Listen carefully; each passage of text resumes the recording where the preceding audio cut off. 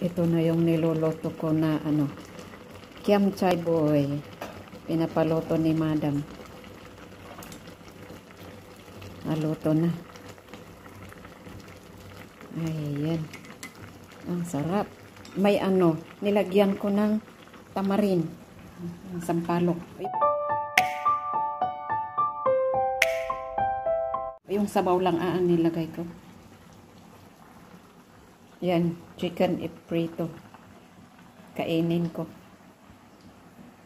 At saka, magawa tayo ng sambal. Ayan. Ito yung panigang. Pero pinahinog nila. Gagawing sambal. Binili namin kaninang umaga. Maaga kaming pumunta sa palengke na malingki. Ayun, umulan. Kaya bilis-bilis namin na umuwi. Ayan. Gawin natin na sambal yan. Gustong gusto ng mga amo ko yung sambal.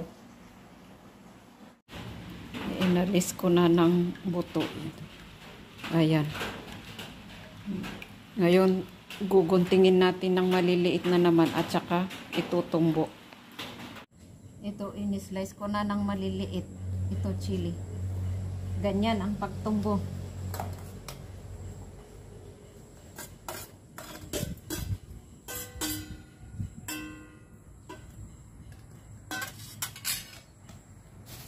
Lagyan ko ng plastic. Kasi maanghang to. Ayan.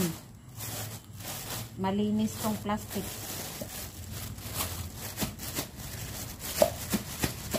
Ayan. Kasi maanghang tong chili.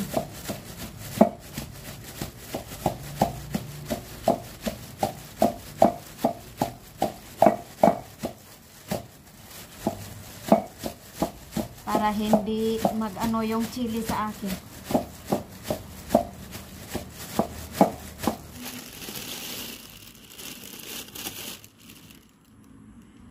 Oh, almost. Almost na maano. Kasi maraming juice na yung chili. Kasi nilalagyan ko ng gano, ganito plastic. Ah, kasi once na mag-splash yung juice ng chili sa katawan, ay nako, napakaanghang to. Kasi it, ganito kasi ang gusto ni madam. Bayuhin ay. Ayaw niya yung i-ano sa blender ay kasi hindi daw masarap pag gamitin yung blender. Mas gusto niya to o tinutumbo bayuhin para masarap daw ayun mahirap lang mag ano na ganito mahirap na magtumbo pero ano pagkainin nila ang sabi nila wow masarap sabi nga ni sir sa akin noon pag nagtumbo daw na ganito dapat magalit magalit daw ako para maanghang pero pag hindi daw ako magalit, hindi daw maanghang. So, gustong gusto niya daw yung maanghang. Kaya,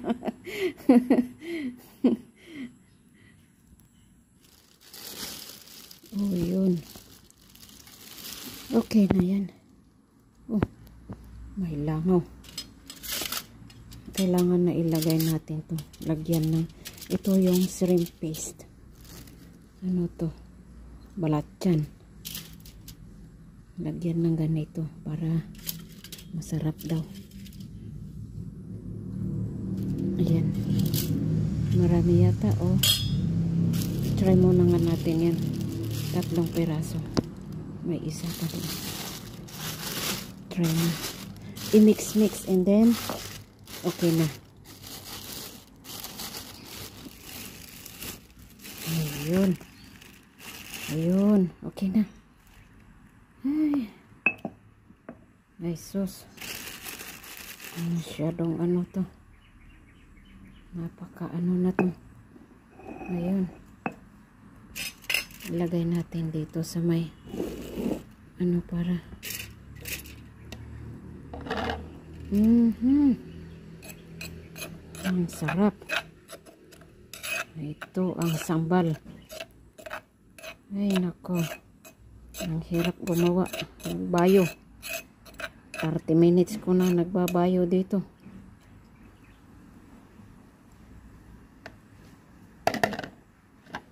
Matagal na hindi din ako gumawa ng ganito. Ilang years na. Simula pa noong nag-pandemic. Kasi walang mga amo dito. Ngayon lang na naman. Umuwi na sila. Ayan. Magtumbo na naman ng chili. Noon palagi na ganito ang tinutumbo. Ngayon mag-start na naman. Masarap to na igisa sa mga ano gulay. Ihalo mo to. Wow. Ang sarap. Dito sa Malaysia, dito ang mostly na ginagamit nila to. Sambal.